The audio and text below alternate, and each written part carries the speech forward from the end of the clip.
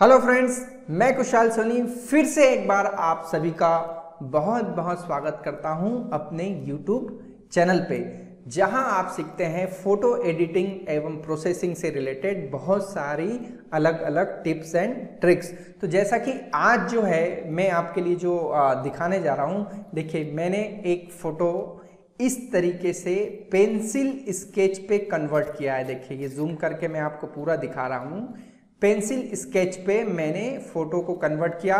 ये आपका pencil sketch है और ये ओरिजिनल फ़ोटो था इसका, ये वाला। तो हम किसी भी फोटोग्राफ को पेंसिल पे कैसे कन्वर्ट करें, आज हम कंप्लीटली उस पर बात करने वाले हैं। तो आप स्टार्ट करने से पहले आपको ये जानकारी ज़रूर होना चाहिए। आपको फिल्टर्स की जानकारी होना चाहिए कि फिल्टर्स कैसे चलाते हैं। आपको ब्लेंडिंग और मास्किंग ये दो चीज़ें आपको आनी चाहिए। अगर इतना आप करने में सक्षम है तो आप भी आसानी से, जैसा मैं अभी बताने वाला हूँ, वो प्रोसीजर फॉलो करके किसी भी फोटोग्राफ को पेंसिल आर्ट में कन्वर्ट कर सकते हैं। तो चलिए स्टार्ट करते हैं। पेंसिल, स्केच का कंप्लीट ट्यूटोरियल। तो इसके लिए मैंने ये फ़ोटो ओपन कर लेगी तो पहले आपको कर लेना है फ़ोटो को ओपन। ठीक? अब बिल्कुल ध्यान से देखिएगा। फ़ोटो ओपन करने के बाद जो सबसे इंपॉर्टेंट है, आपको आना है यहाँ पे चैनल्स पे। चैनल्स पे आपको मिलेगा आर जी बी और मैं बार बार आपको बताता हूँ, यही R G B shadow midtone और हाईलाइट है। तो सबसे ज़्यादा आपको जो डिटेल मिलेगा इस पेंसिल स्केच मतलब क्या? डिटेल को पेंसिल की मदद से उभारना। तो हमें डिटेल कहाँ मिलेगा? डिटेल मिलता है सबसे ज़्यादा ब्लू चैनल पे। तो जैसे ही मैंने ब्लू पे क्लिक किया, देखिए पूरी फ़ोटो पे डिटेल है, जबकि रेड में वो डिटेल गायब था। ब्लू पे सबसे ज़्यादा है। तो ब्लू पे लेने के बाद आपको, जैसे ही आपने ब्लू पे क्लिक किया, अब आपको जाना है इमेज मोड पे। आपको इमेज मोड और यहाँ से आपको ग्रे स्केल पे क्लिक करना है। देन ये पूछेगा डिस्कार्ड अदर चैनल्स तो यस ओके कर दीजिए। फिर वापस जाइए मोड में और इस बार मोड कर दीजिए अगेन आरजीबी देखिए, बन गया आरजीबी तो हमने इतना प्रोसीजर इसलिए फॉलो किया बिकॉज़ हमको जो है डिटेल एरिया चाहिए था फ़ोटो का, इसलिए चैनल पे ब्लू लेके उसको ग्रे स्केल पे कन्वर्ट किया देन वापस आर पे हमने कन्वर्ट किया। अब आपको करना क्या है? अब आप आ जाइए लेयर्स पे और अभी लेयर्स में केवल बैकग्राउंड लेयर्स दिख रही है। आपको मैं थोड़ा लेयर्स इधर लेके आ जाऊँ तो अच्छे से समझ में आएगा। लेयर पे अभी देखिए सिर्फ़ बैकग्राउंड लेयर है। तो बैकग्राउंड लेयर में आपको करना क्या है? आपको दो बार डुप्लीकेट करना है। राइट क्लिक कीजिए डुप्लीकेट फिर राइट क्लिक कीजिए डुप्लीकेट दो बार आपने डुप्लीकेट किया, यही काम आप कंट्रोल जे के मदद से भी कर सकते हैं। अब जो सबसे टॉप वाली लेयर है अभी, इसको आपको करना है सेलेक्ट पे जाके। सॉरी आपको इसको करना है कंट्रोल आई तो कंट्रोल आई से ये हो जाएगा इन्वर्ट पूरा का पूरा फ़ोटो इन्वर्ट में कन्वर्ट हो जाएगा। अब, जैसे ही आपने इन्वर्ट किया, आपको यहाँ जो ब्लेंडिंग मोड नॉर्मल दिख रहा है, इस नॉर्मल ब्लेंडिंग मोड को आपको कन्वर्ट करना है कलर डॉच पे। जैसे ही आप कलर डॉच पे क्लिक करेंगे तो आपको लगभग पूरा का पूरा फ़ोटो जो है प्लेन प्लेन दिखने लगेगा। थोड़े बहुत आपको ब्लैक स्पॉट दिखेंगे। तो जैसे ही आपने कन्वर्ट किया कलर डॉच में उसके बाद पहला काम आपको जाना है फ़िल्टर पे। ये मैं गया फ़िल्टर और फ़िल्टर पे आना है ब्लर पे और ब्लर के अंदर है गौशन ब्लर। ये गौशन ब्लर लगभग आपके फोटोशॉप के लगभग लगभग सारे वर्जन्स पे अवेलेबल है तो आप उसके थ्रू काम कर सकते हैं। गौशन ब्लर पे क्लिक कीजिए और गौशन ब्लर पे अभी देखिए, जब धीरे धीरे मैं गौशन ब्लर बढ़ाऊँगा तो इसमें बहुत सारे जो है लाइंस वो बाहर आएगी।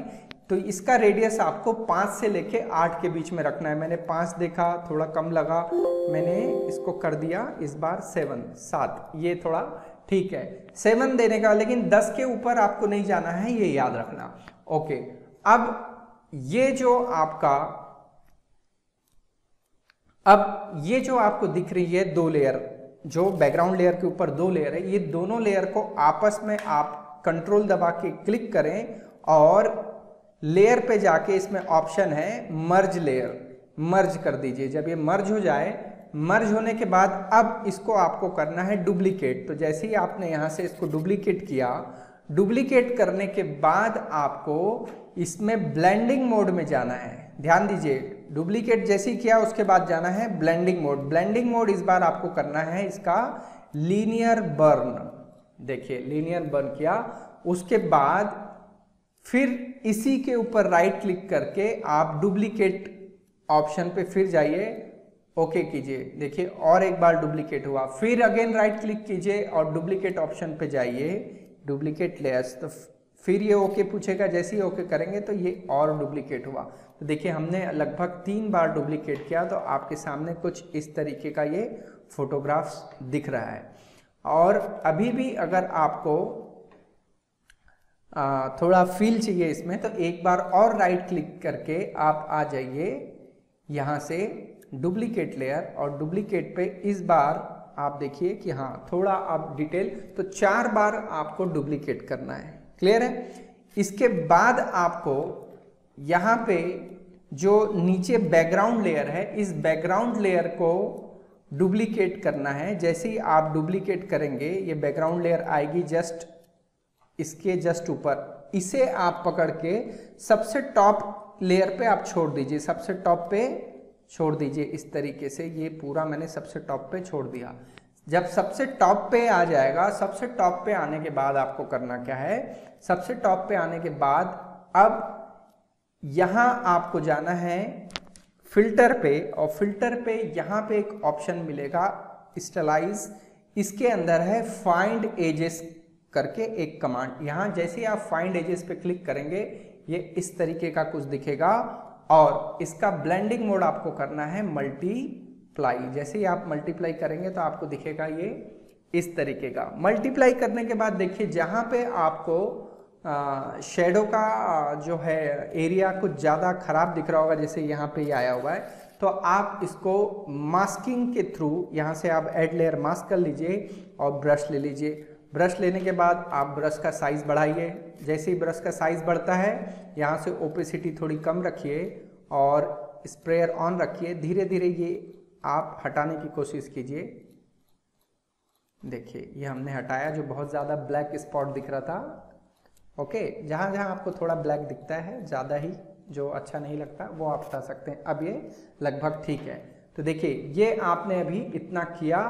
अब आपको करना क्या है? अब है सबसे इंपॉर्टेंट जब इतना आप कर लें, उसके बाद अगेन आप जाइए अपने इस बैकग्राउंड लेयर पे और यहाँ से आप फिर से आप डुप्लीकेट लेयर कीजिए और डुप्लीकेट लेयर करने के बाद यहाँ से आप इसको सबसे ऊपर की ओर लेके जाइए।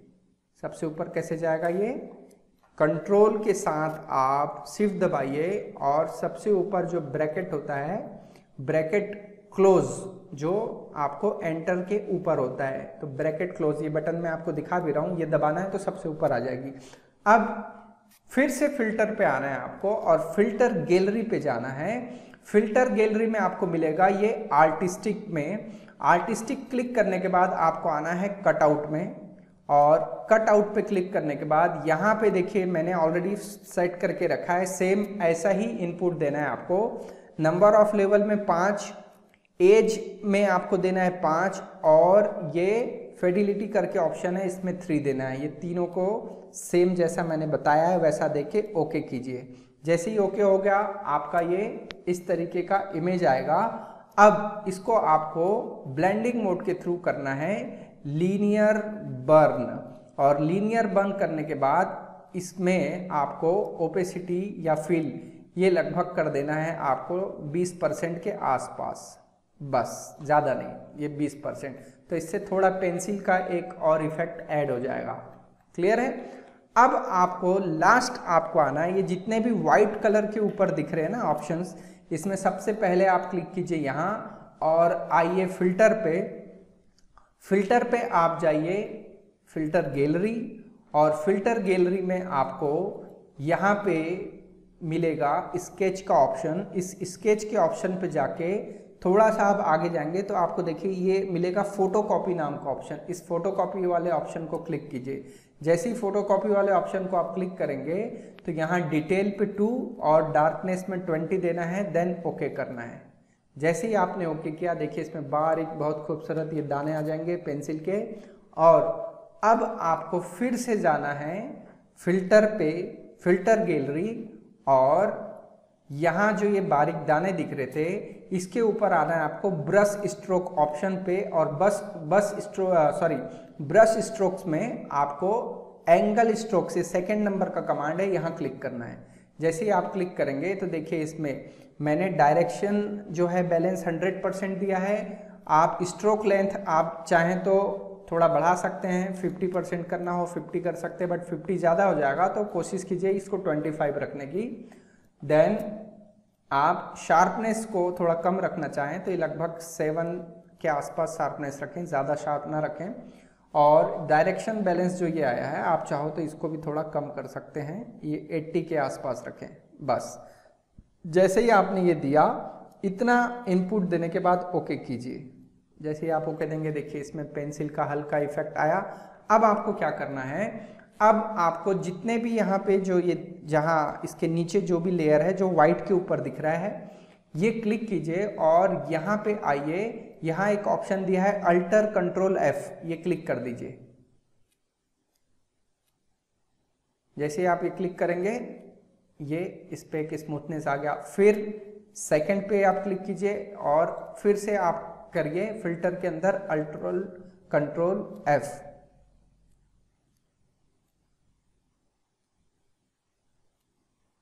देखिए, ये आपका लगभग लगभग पेंसिल का स्केच अभी तैयार हो गया है। फिर लास्ट आपका बचा है जो, ये तीसरे नंबर का। इस पे भी आप जो है, यहाँ से फ़िल्टर गैलरी में अल्टर कंट्रोल एफ़ क्लिक कर दीजिए तो ये सारे ऑप्शंस आपके सेम काम करने लगेंगे। ये, देखिए, ये आ गया बढ़िया। और अब आपको जो सबसे ऊपर ये था, इस सबसे ऊपर वाले ऑप्शन पे भी एक बार क्लिक करके कंट्रोल अल्टर एफ़ क्लिक करना है।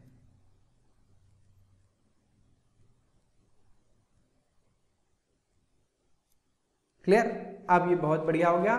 अब आप, लास्ट आपको ऑप्शन क्या करना है? आप बैकग्राउंड के ऊपर जितनी भी लेयर आई थी आपको ये पूरी लेयर जो है, एक डुप्लीकेट कर लें आप पहले बैकग्राउंड लेयर को कंट्रोल जे दबा के और इस बैकग्राउंड लेयर से लेके ऊपर तक की जितनी भी लेयर है, सबको आप इस तरीके से सेलेक्ट करके लेयर पे जाइए और मर्ज लेयर कर दीजिए या कंट्रोल ई दबा के भी कर सकते हैं। तो देखिए, ये आपके पास आ गया और अब आपको आना है इस बैकग्राउंड लेयर को कंट्रोल जे करके फिर से डुप्लीकेट करना है और सबसे ऊपर आ जाना है।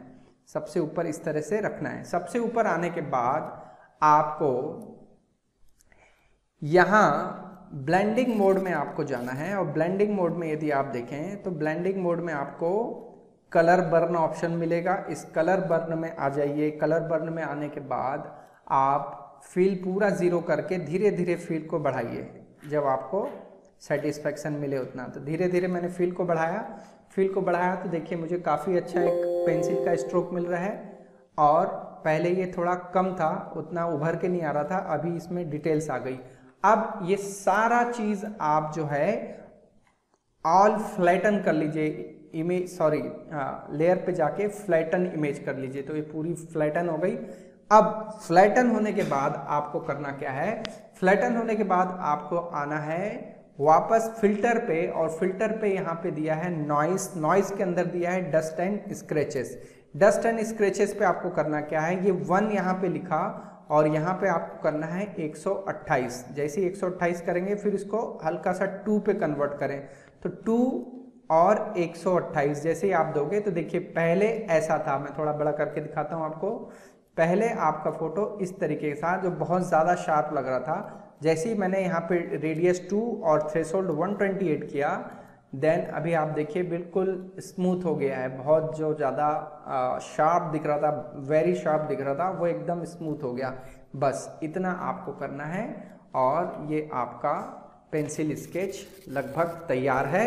फिर अगर आपको लगता है कि इसमें और कुछ काम किया जा सकता है तो आप एक इसमें ये कर सकते हैं कि इसे डुप्लीकेट करके आप मल्टीप्लाई कर सकते हैं और मल्टीप्लाई करने के बाद आप यहाँ मास्किंग लगा सकते हैं अल्ट के साथ मास्किंग किया और मास्किंग में जो एरिया आपको लगता है कि एनहेंस करना चाहिए, उस एरिया पे आप धीरे धीरे इस तरीके से ब्रश चला के उसे एनहेंस कर सकते हैं। जैसे अपन पेंसिल स्केच बनाते समय आपने देखा होगा कि ब्रश का इस्तेमाल करते हैं साथ में आप थोड़ा इरेज़र चलाते हैं, उसी तरीके से इसमें आप जहाँ आपको डिटेल एरिया को उभारने की ज़रूरत महसूस होती हो, वहाँ पे आप इस तरीके का चला सकते हैं। तो ये आपका कंप्लीट बन गया पेंसिल स्केच डायरेक्टली इतना काम करने से। तो उम्मीद करता हूँ आप सभी को पेंसिल स्केच का ये सेशन बहुत पसंद आया होगा। इसमें आप अपने अनुसार थोड़े बहुत और मैनुपुलेशंस कर सकते हैं तो हो सकता है आपका और भी इससे अच्छा बने। तो मेरी कोशिश थी कि आ, मैं आपको सिमिलर स्केच के आसपास लेके चलूँ तो ये लगभग हमारे स्केच के आसपास का इफ़ेक्ट इस पर आ गया है। और आप अपने कस्टमर को ये स्केच गिफ्ट कर सकते हैं या अभी आप खाली बैठे हैं तो आप अपने ही किसी नियर डियर का स्केच बना के उसे तोहफे में दे सकते हैं डिजिटली उसको मेल कर सकते हैं। सो so, आज के लिए बस इतना ही। फिर मिलेंगे हम किसी एक नए क्रिएटिव टॉपिक के साथ। आज का ये सेशन पसंद आता हो तो जितना ज़्यादा आप लाइक कर सकते हैं लाइक कीजिए शेयर कीजिए और आपके कमेंट आते रहने चाहिए। Thank you